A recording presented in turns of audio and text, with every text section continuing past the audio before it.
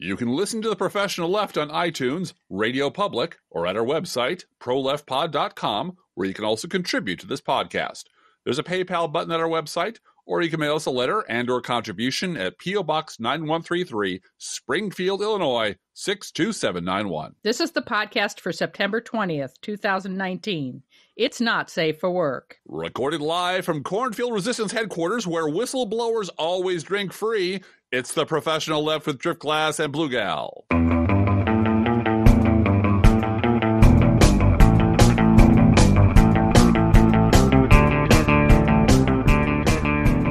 Hi there. Hello, darling. How are you doing today? Ugh. We've been, ra- we've been racing past each other all day and all week, really. So, Oh gosh, and and the news is just so shitty.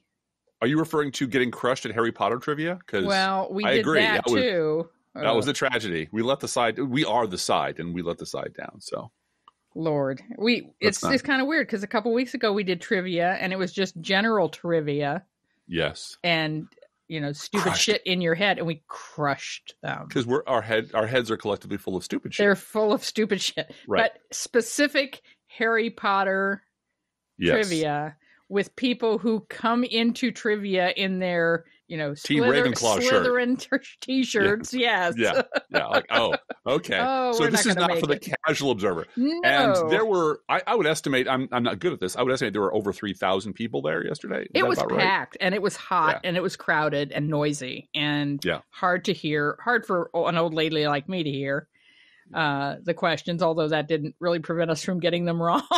Right. And the saddest part was that the team next, there's a swapping process. You trade answer sheets with, with the team near you and you grade each other to keep each other honest. right. And, and the, the, uh, the uh, youngsters next to us were like taking pity on us, going, "It's okay, we'll give you partial credit." no, no, I do not need your pity. Okay, come back in two weeks when the topic is classic science fiction from the 1960s, and I will blow your doors off. Right. But for now, Right. I'm just enjoying myself and and reveling in the fact that, well, I mean, this is a room of 10,000 readers, which is yeah. awesome. Yeah. I mean, that's really great. Yeah. A bunch of people read a whole bunch of books and remember them. And as a writer who would one day like to, you know, make a living at it, uh, I think that's all to the good. It So, is. It is. And speaking of writers, yes. I want to do early in the show, I want to do a shout out to three authors who listen to this podcast, have published books, and have sent us copies. And I have put on, if you just Google Blue Gal, my blog comes up. And at my blog, I have links to these three books in in order by uh, last name of author, just like in the bookstore. Robert Chazz Chute sent us another uh, book. I don't know how he does it. He just churns them out, and he's a good writer. he doesn't uh, his- blog every day, is what he does. no, does. that's what he does. He doesn't blog every day. He writes books. Uh, Yeah. His latest book is called The Night Man. uh-huh.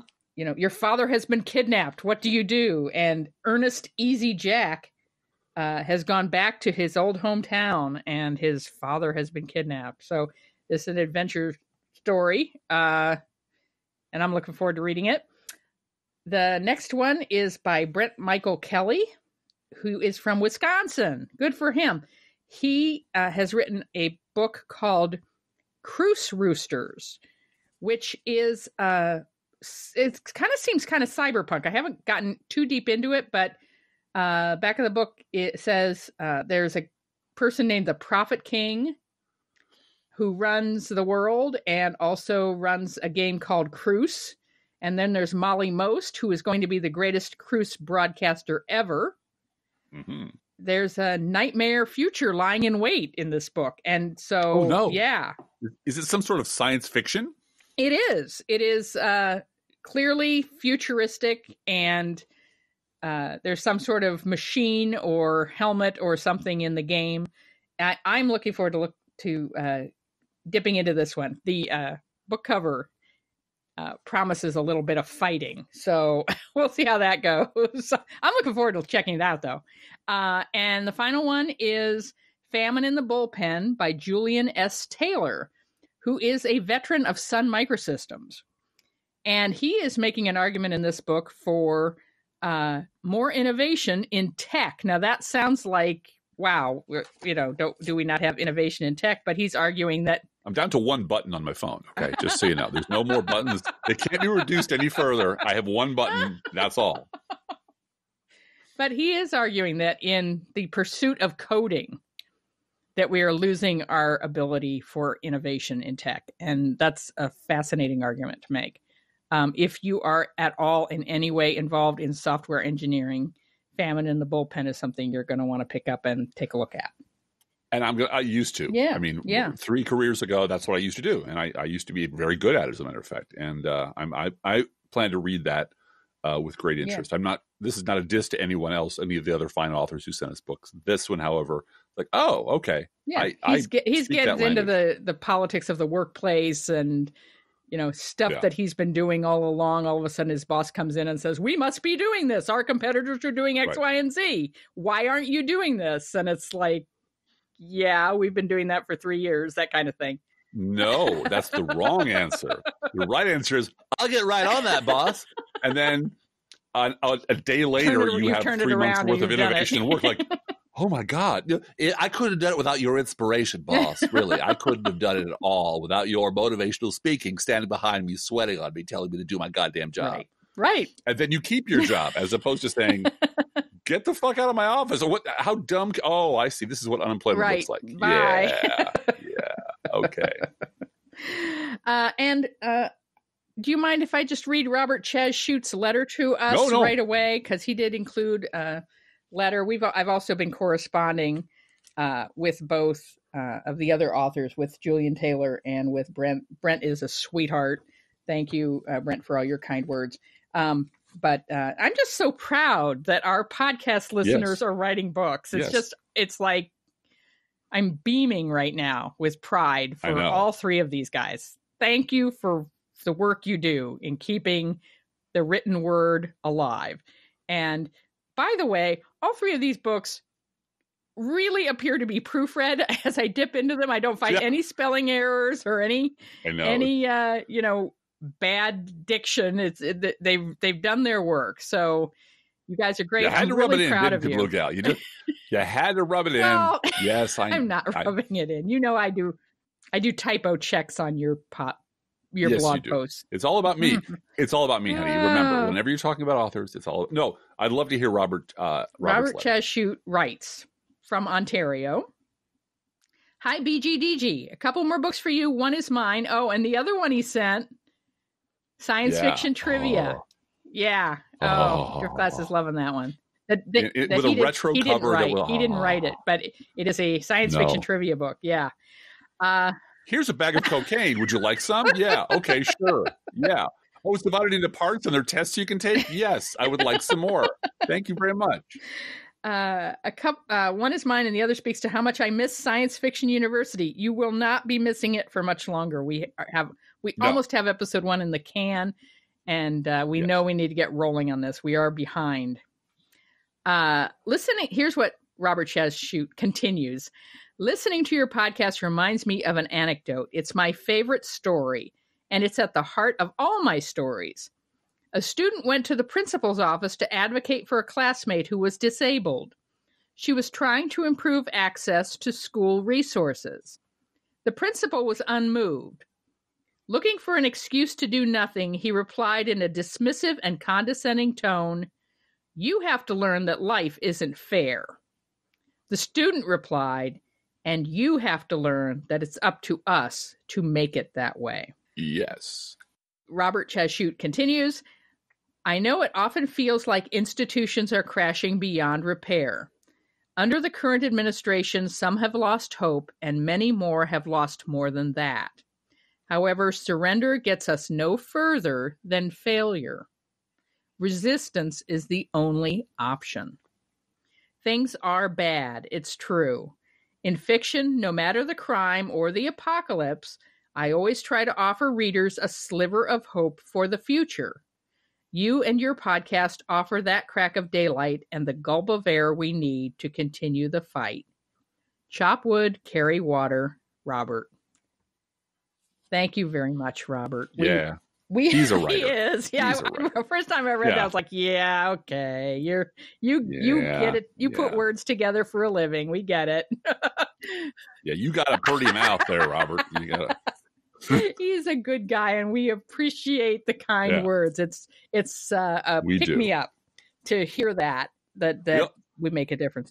I'm sorry. We also had coffee with uh, Yep. listener Steve this week, and thank you so much for the tomatoes and everything else. It's all appreciated. Oh, tomatoes from his garden. Oh man, so good, so good. Yes, yes. We we bought our way out of the coffee shop. We ran over and we bought our way out with fresh tomatoes. They were like they're delicious. We we enjoy them. Our vegan uh, at home is it loves them, and we're going to cook them up special tonight. Oh, I'm sorry. We also had dinner with one of your colleagues. We did. We had dinner with Heather, Mhm. Heather from Crooks and Liars on Thursday night, and uh, she took us out, and we had a great time catching up with her. We did. and uh, she has been the heart and soul of the video. Well, and and it's it's not just. I mean, we've we've met Heather several times before, but Mhm. it's a reminder that these seemingly big and and legitimately influential institutions on the left um, are actually come down to a handful of people. Yeah, just working their ass Yeah. off every day, all day, on the weekends, getting up at six in the morning, know who, knowing who every blonde idiot is on Fox by name, and being able to sort of cross reference that is the job of a person. A person is doing that. An individual is doing that, and it is exhausting work, and it is not rewarding in, in the traditional sense, but it's necessary. And we really do appreciate the hard work Heather does on behalf of Crooks and Liars. Well, and I really kind of had to hang my head. We're we're jumping right into news now, but I found out today that in the process of writing a post about Candace Owens, who Yeah. Republicans brought before Congress They to did. testify that there is no white supremacy, white No. nationalism. That's like, you know, on the very bottom of my list of priorities for Black America. Let's talk about how Black men aren't men and Black women are getting too many abortions. Let's talk about that. You know, that was Mhm. really her thing. Well, and she was there because Lee Atwater is dead, so Right. they didn't have Well, and, anyone. and they need a young, pretty African American uh, stooge to to say what they want to hear, right, and say this, she say provides that for money. She does And- for money. For money. For That's- money. She does this for money. For Let's- money, and let's understand uh, that. she was uh, let go from Turning Point USA No. uh, really? earlier this year Oh. because she she tried to say, you know, well, you know, Hitler want to make Germany great again. Yeah. And she said that in front of an office, uh, in front of an audience in London, and uh, it got her in a lot of trouble. But the the conservative memory hole is Yeah. very wide, It's very generous. and she's back again. Yeah. And she's going to be speaking at a conference for Turning Point USA oh, uh, on nice. black leadership. That's nice. Now, the headliner for this conference, Driftglass, is a man named Charlie Kirk, who last time I checked I've heard of him. Was not black. No, but he is a relative of James Tiberius Kirk. and in the future, he kisses Lieutenant Uhura on the mouth.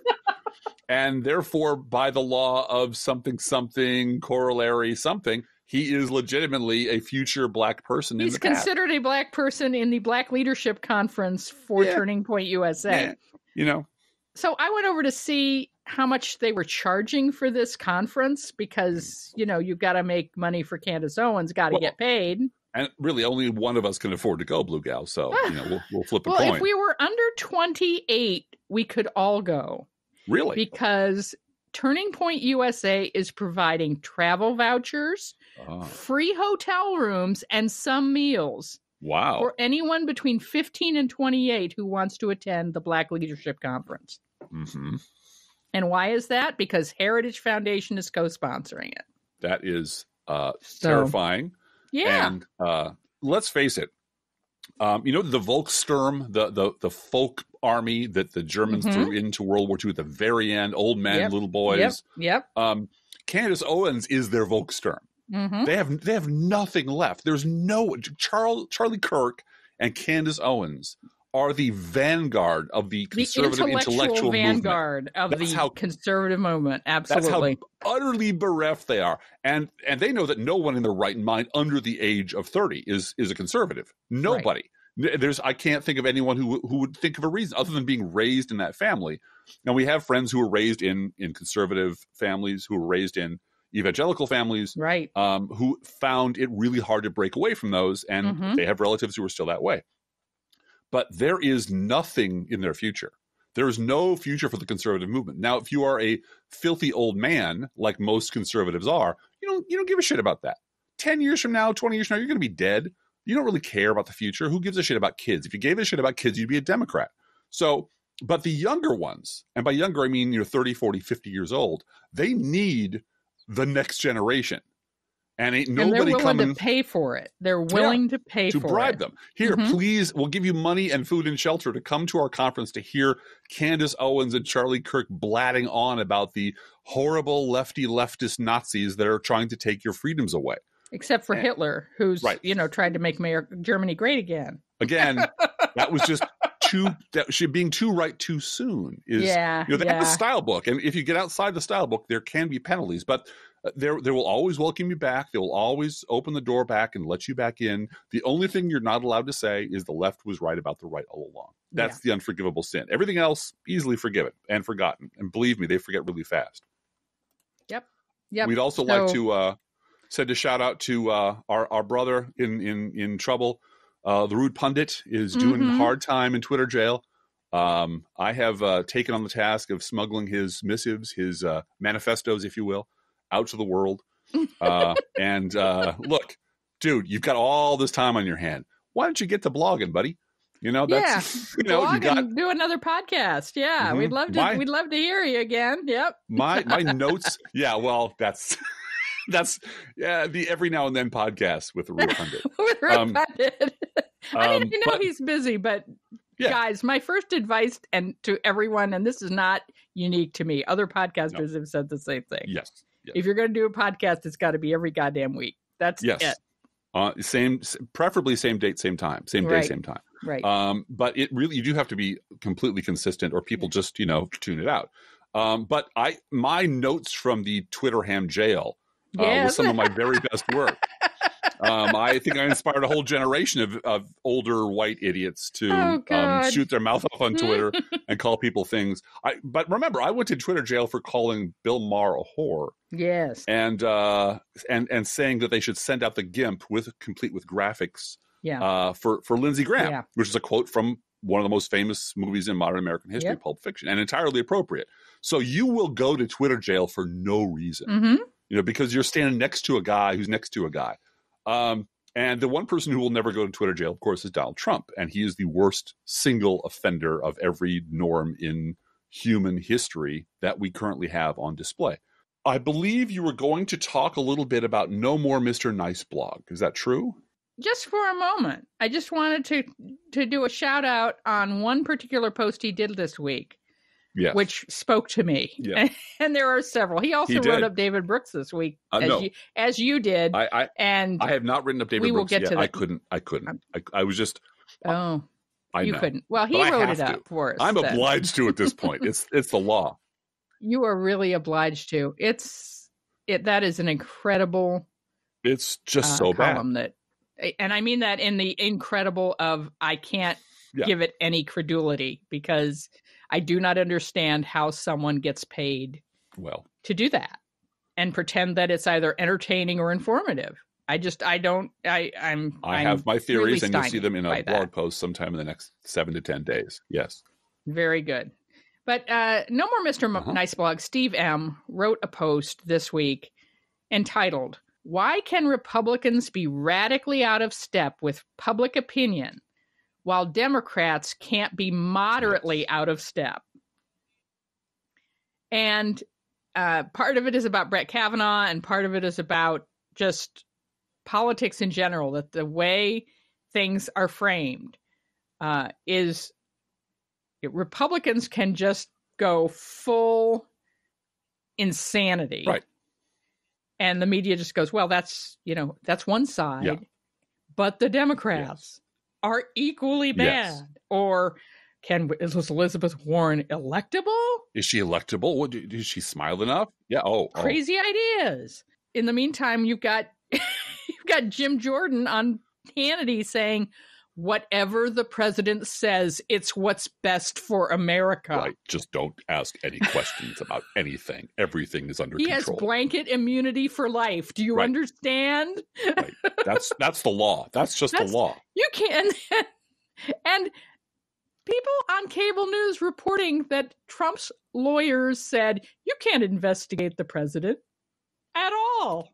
Ever. No sitting president can ever be investigated. Yes, for anything.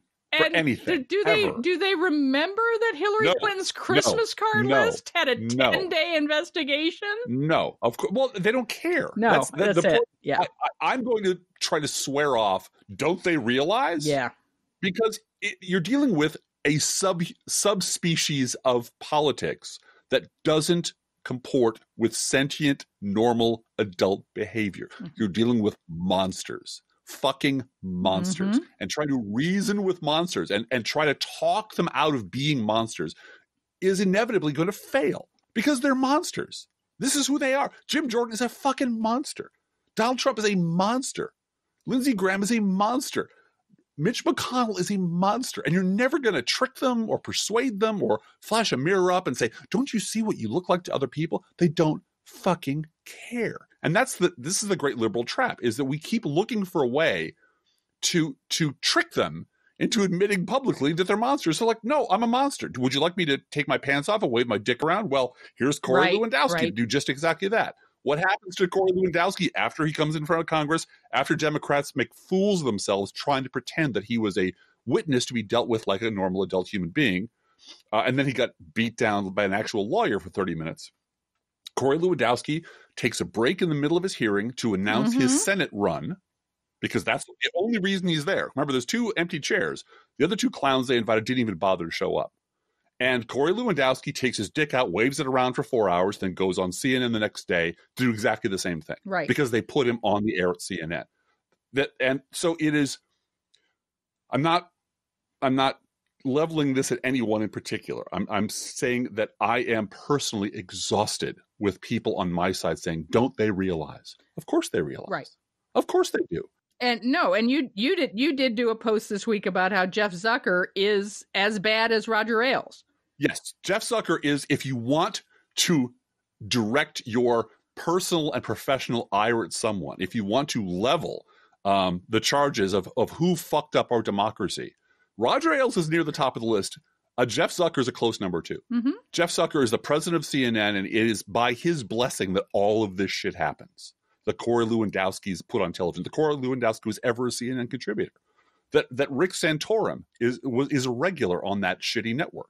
This Jeff Zucker cares about money. He is a truffle hog for money. Mhm. He does not give a shit about anything else. He he created Donald Trump on The Apprentice. He made Donald Trump a rich man. Donald Trump made Jeff Zucker a rich man. They jerked each other off right up until he went into the White House. And then Jeff Zucker suddenly was shocked at all the horrible things Donald Trump was, and then then made ratings bank on it ever since. Mhm. Jeff Zucker is a horrible person and a monster, and and he, but he doesn't fucking care. And there's no one on his network who's going to mention this. There's no one on MSNBC who's going to call him out because all of them are terrified that one day their resume will be sitting on Jeff Zucker's desk. And he'll remember, remember when you called me a monster just because I wrecked American democracy? Well, I guess you don't get the fucking job, do you?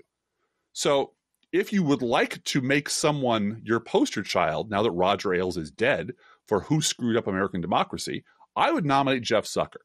Because without him, Corey Lewandowski never gets on to CNN the day after the hearing Mhm. and he never was a person to begin with. Corey Lewandowski got fired by Donald Trump for being an incompetent fuck up. And he abused a female reporter and he lied constantly. He was a third, fourth, fifth tier thug. And yet now he is sitting in front of the House Judiciary Committee just waving his dick around uh, because he knows he can, because there's, there's no consequences to this. So, uh, one of the things that we try to do on this show is to provide a vocabulary for our listeners to discuss with their friends and neighbors about politics. We also want to emphasize the importance of unpacking words and vocabulary that is being thrust at us, which is uh, there for a nefarious purpose. Mm-hmm. And what we mean by that is the lifeboat builders, particularly, we find them very easily on Morning Joe, Yes. uh, Yes. who want to pretend that Donald Trump's not a Republican and that Republicans are basically good people and we can discuss things with both sides and so forth.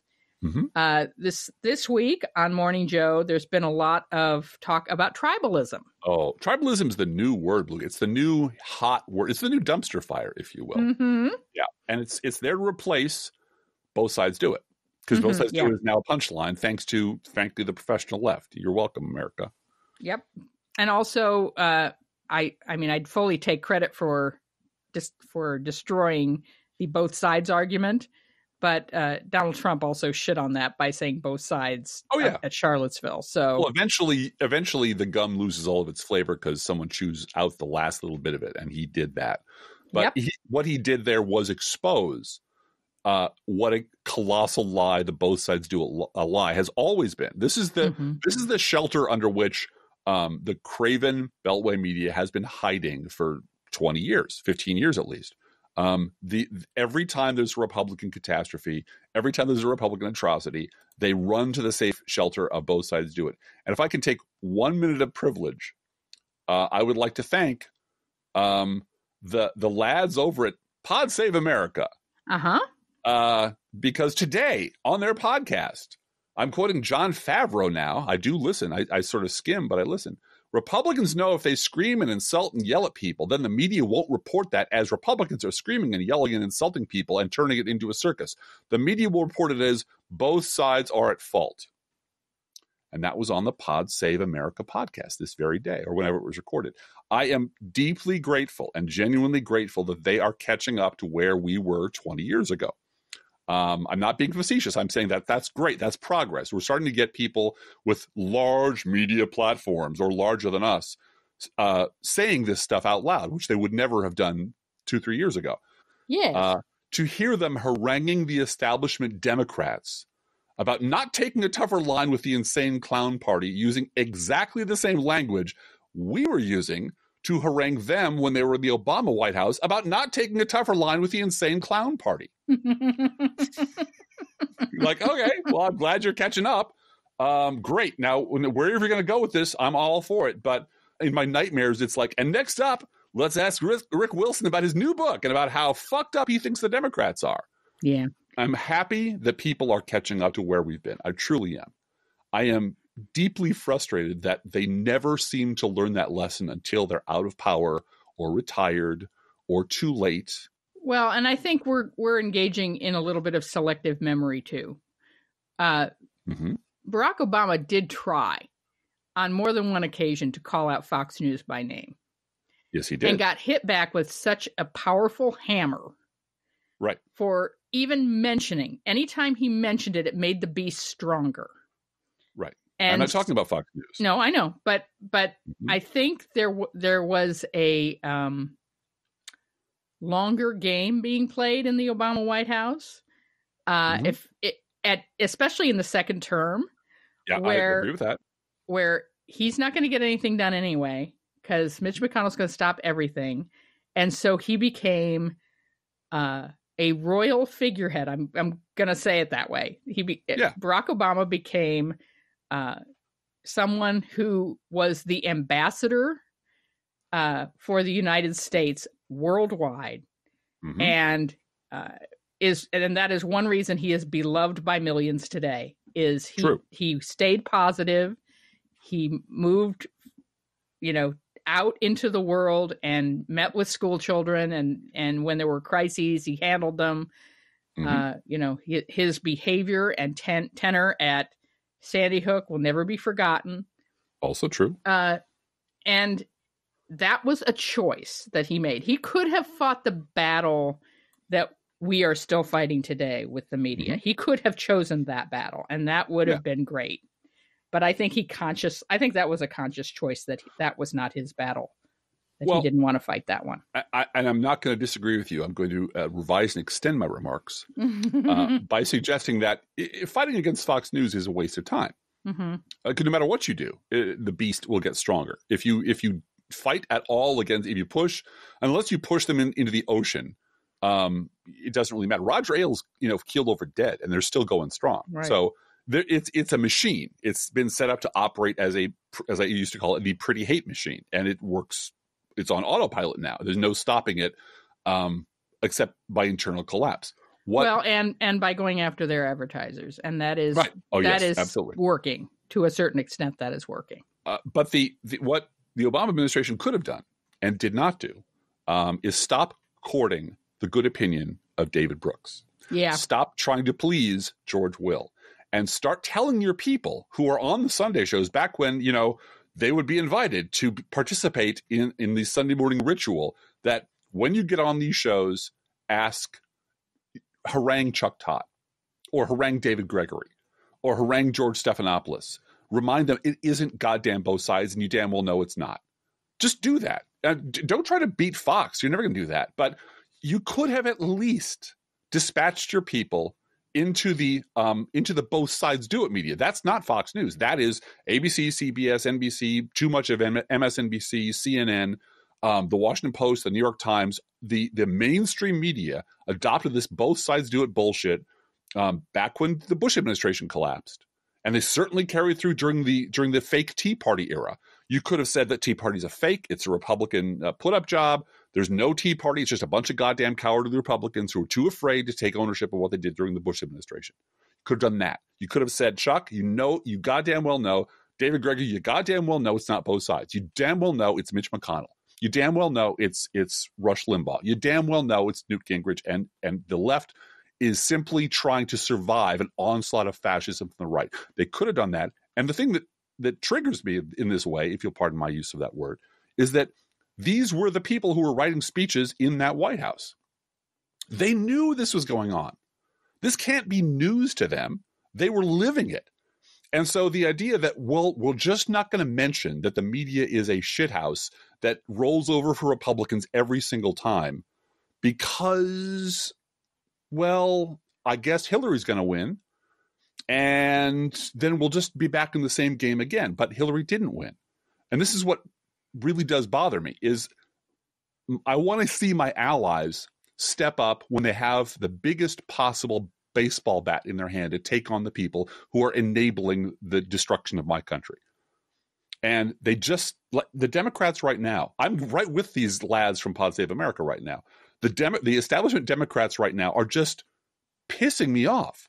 Mm-hmm. You know, brows are being furrowed, Blue Gal. Right. Stern letters are going to be written. Fingers will be wagged. And I just keep looking at them like, what what more do you who what do they have on you? Right. I stopped asking what do they have on Jim Jordan.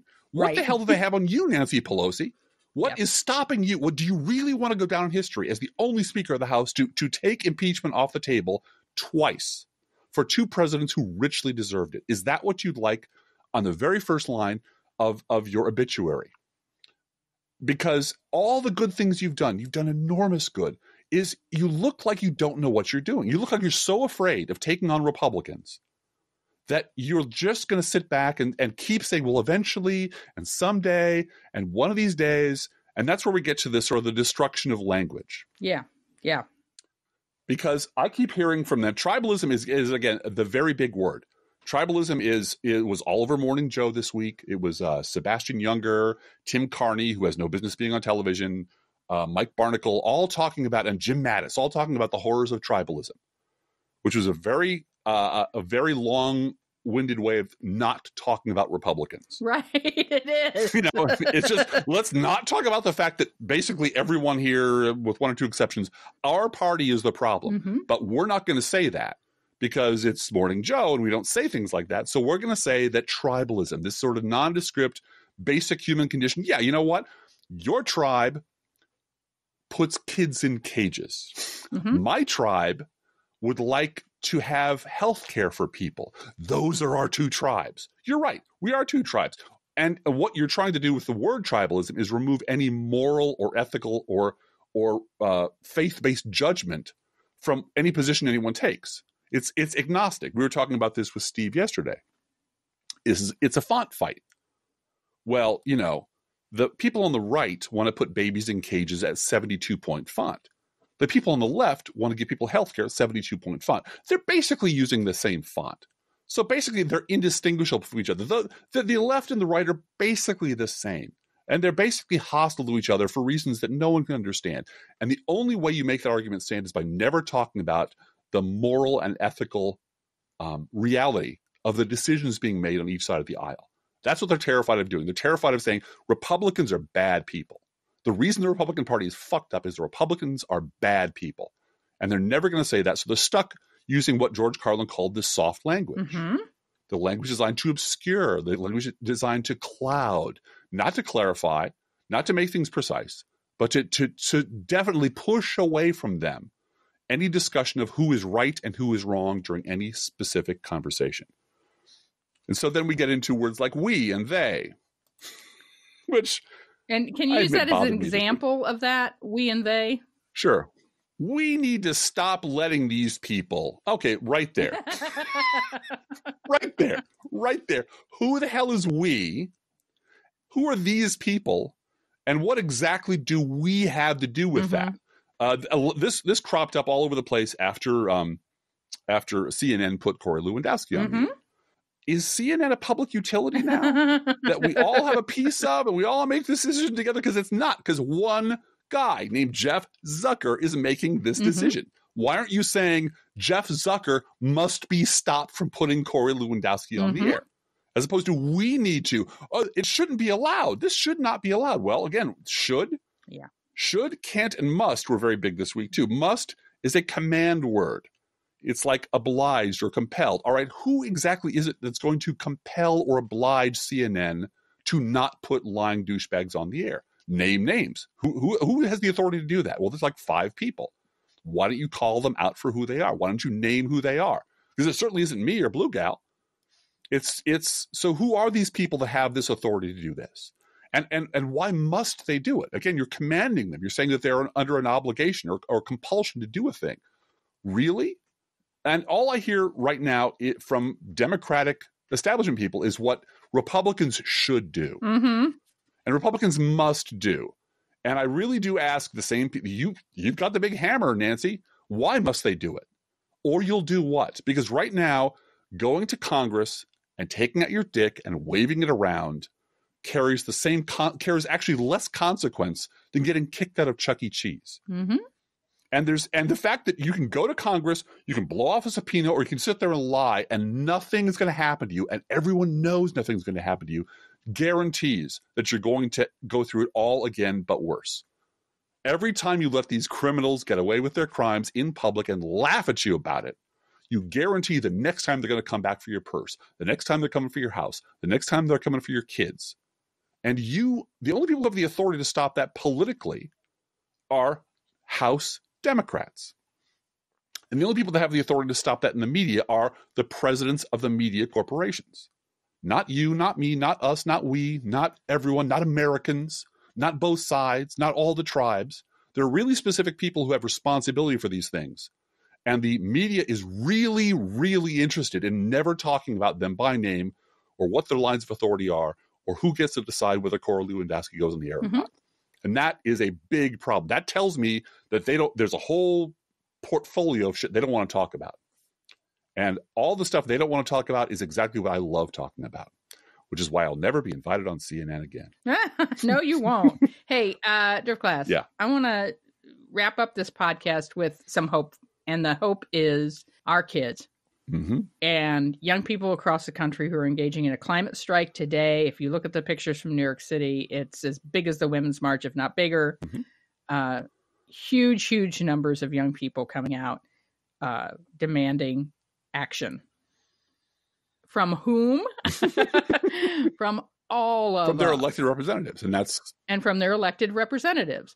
And we had a situation this week, a very sad situation in our community, mhm. where a uh, student at the high school where our daughters go Mhm.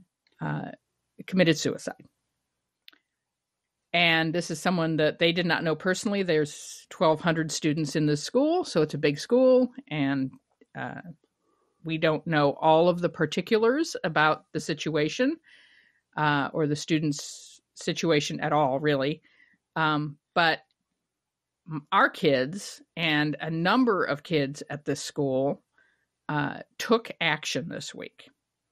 They did a walkout. They did a demand to meet with school administrators. They talked to each other They made sure that the administration knew that they considered mental health of the students to be something that was not being prioritized, Mhm. that they did not feel heard, and that this was the result. And, uh, you know, the administration of the school and the school board and so forth are all making the right noises at this point because that's all that we've been able to have so far. Uh, the the walkout was Thursday, so they there hasn't been a lot of time to react to it, but uh, certainly the the administration didn't punish any of the students that walked out. They uh, called parents last night with a robocall to say uh, this was a student led protest. We hear them. We are meeting with students, and we have social workers on staff who are meeting with students, and we're going to do more about mental health and so forth. So they're making the right noises, right? Mhm. Um, and we can expect follow up and action on that. But for now, uh, I I feel like they're doing they're doing saying the right things. Let's put it that way. yeah. Uh, but these student led things uh, Yeah. are really um, it's becoming really clear to me that uh, this next generation knows we don't have time for a lot of bullshit. Yep. And that they're going to take the reins, and that is in large part due to social media and their interconnectivity with each other Mhm. uh, to simply lead.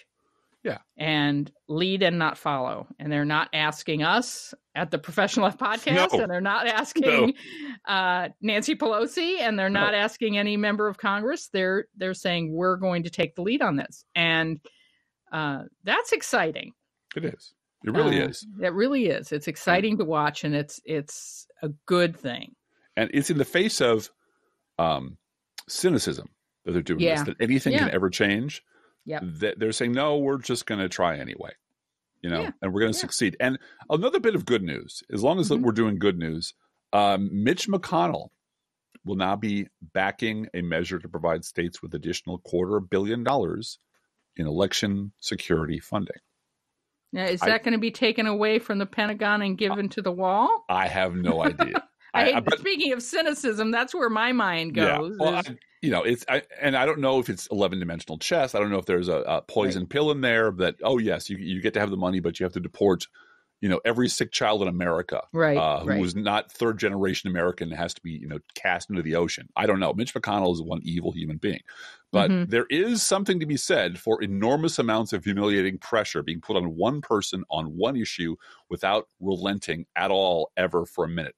And It- Moscow during Mitch a time when he is up for reelection. Yes, that's when you get sweat. them. Right, make him sweat. right. Um, Right. uh, At the other end of the spectrum, I will note that um, there have been no professional or um, institutional consequences for a guy named uh, Brett uh, Bret Stephens. You might know him as Brett Bug uh, Mhm. for losing his shit twice in the New York Times for declaring his inconvenience to be the equivalent of the Holocaust, and then going on television saying the same thing, and then having his friend David Brooks write a column that essentially was subtweeting the whole thing in absolutely unhinged hysterical terms. It was an embarrassment. It was a week of embarrassment. It was it was clear that oh, Brett is not only just an idiot and a nut, he is absolutely not not fit for this job and doesn't know how to interact with human beings at all. He's not his his political judgment sucks. His his his uh, conservative um, credentials are terrible. His grasp of science is nil, and he is as thin skinned and prickly an aristocrat, and he's a terrible writer. And the consequences to him having all of that sort of spilled out in public are zero. Yeah. He's back And, writing and columns. the New and- York Times, if I may add to the pylon over Sure. the New York Times, please do. uh, did some sloppy editing last weekend. yes, they did. uh, regarding the Brett Kavanaugh book, which opened a door. It was it was almost amusing to watch in real time how when the New York Times fucks up, the right wing noise machine goes into full action and says, "Now see, the whole thing is debunked Mhm. because there's this one mistake. We now don't have to pay attention to this issue." At all. We don't have to pay attention to new evidence at all because the New Mhm. York Times messed up their editing and that's not true. It is not debunked. There, No. there is evidence. Brett Kavanaugh does not belong on the Supreme Court. He should be impeached. yes. Period. But but it was, as I said, was almost amusing to watch. this editing mistake takes place, and right away, jumping into the fray, the right wing defenders of Brett Kavanaugh saying, and you see, now we don't have to pay attention. Now he's totally exonerated by this editing error. And once again, we'll loop back to Steve M at No More Mr. Nice blog. Yeah, yeah. Why can Republicans be radically out of step with public opinion? Well, Democrats can't be moderately out of step. One mistake, one screw up is enough Mhm. for everything you've said, every everything everything that's hanging off of that issue. The entire Christmas tree can be thrown out and burned if one light is burned out. hmm On the other side, it doesn't matter if you've made a bonfire that, that blots out the sun of lies. Uh, it doesn't matter. Mhm. They don't care, and that's that is really, really something we all sort of have to swear an oath and promise ourselves, and and do a, a, a New Year's resolution in the middle of fall. Um, at least for me, stop automatically wondering why do they get away with this? Mhm. How they just do. They that's this is not a curable thing. This is not something again you're going to trick them out of, or they're going to come up with some elixir that will make them stop behaving this way. This is who they are until the grave. This is they, these are ride or die lunatics. Hey, uh, go Greta Thunberg. Yeah, You know, Yeah. the the youth will will move forward, and she had a very profound thing to say this week, which was, "Let's do this radical thing and let nature take over the parts of the planet Yeah. and and fix this." You know, if we allow nature and plants to grow, it Mhm. will improve things It- dramatically. crazy. Did you see her? Was her classmate? A young man, I don't know, maybe ten years old, um, was standing with his arms outstretched to protect her from the paparazzi. Oh wow! It was so sweet. It was so sweet. wonderful. I don't want to offload my problems on to that generation and say, "Well, you guys got this." You know, we're, right, we right, still are. right. We are obliged to do everything we can as often as we can with whatever energy we can to to give them a better world than we got when we were kids. Absolutely. No, Um, that's a good, very, very good yeah. point. hmm But I really do feel Mhm. that if these are the voices that will be governing the next generation, will be speaking for them, that this is how they will be thinking, that we are in much better hands than I thought we would be. Well, and this this relates to something that I've known internally for a long time Mhm. as a member of Gen X, Yeah. which is uh, I remember being in an office where my boss was about you know eight years older than I was, and had everything. I, I mean, just her college was already paid for. Her uh, she had already inherited a house. She had just this incredible amount of wealth and privilege and it was the accident of being born in the 50s Right. as opposed to being born in the 60s was just Mhm.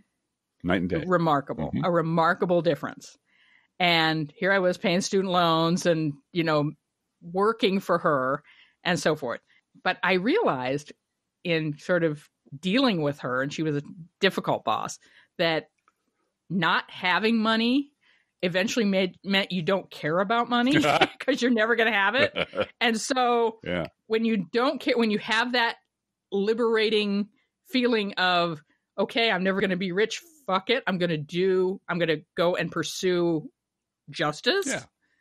for other people Or i'm going to look down and link Yeah, up yeah. right i'm going to or i'm going to be an artist and i'm going to li- but i'm going to do that thing that humility thing that we talked about last week Mhm. i'm going to make it my values are i'm going to lead with that i'm going to lead with my values rather than Mhm. pursue wealth Yep.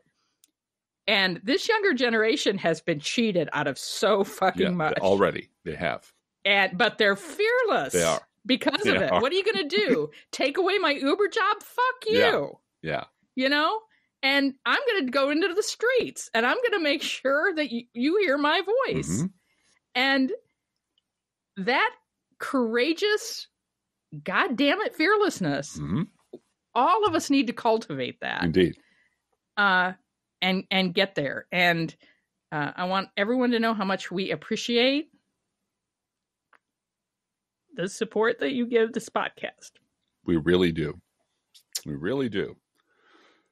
Ah, how you doing there, darling? Oh, I'm really melting down now because it it hurts to have to worry about money. It does. It really does. It hurts, but um, I am so grateful to have the intellectual and technological tools to do this, and uh, to have all of you as friends of our podcast. Thank you. Thank you, thank you. Well, can I tell you a different story about Gen X and me? Sure. Um, it's the opposite of the one you told, but um, but it, it's a learning story, and I, I probably have told it on this podcast before. Since we are at 512 episodes, it's likely I've told this once before. Um, long time ago, this is seven or eight careers ago. I, I used to teach technology um, for a corporate training company in the Loop on LaSalle Street in the Loop, and I was there for about a year. And the owners were just terrible, and then they were replaced by really, really awful people uh, who just started firing people. They started firing people they didn't like because they were minorities.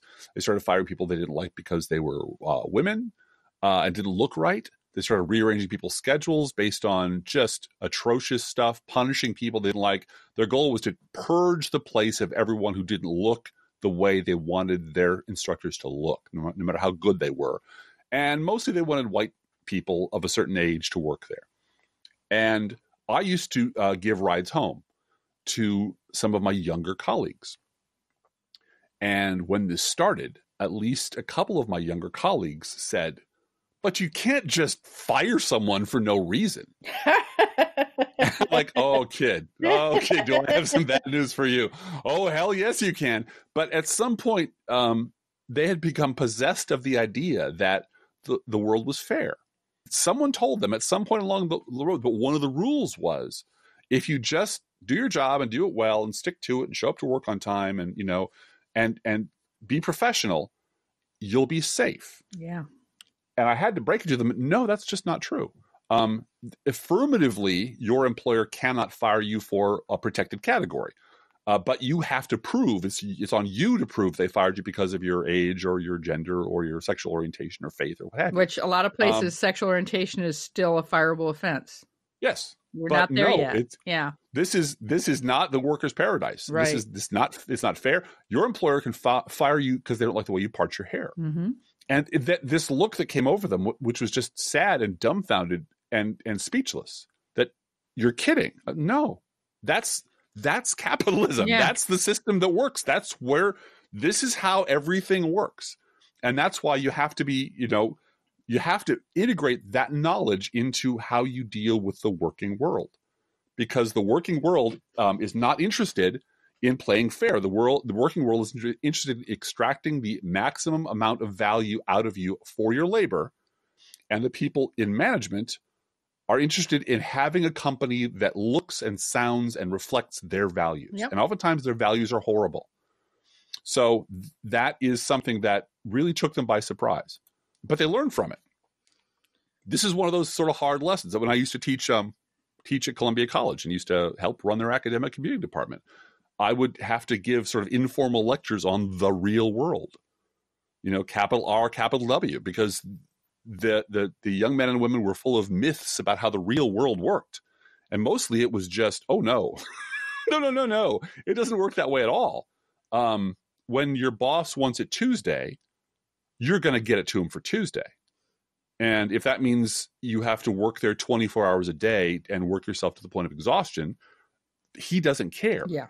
Well, and now now the country has a boss that wants you to not investigate him. Right. And that Exactly. that's the part where all of us sort of sit there and go, you really can't do this. And the only way we get there is if our elected officials stand up for the norms and institutions that Mhm. have kept this country going. And Well- uh, I am frustrated. And uh, we, we will get there, but we have to make our voices heard. And yeah, And I would add that. I'm trying to end on a of the high note, Driftglass. I know. Uh, well, I'm sorry.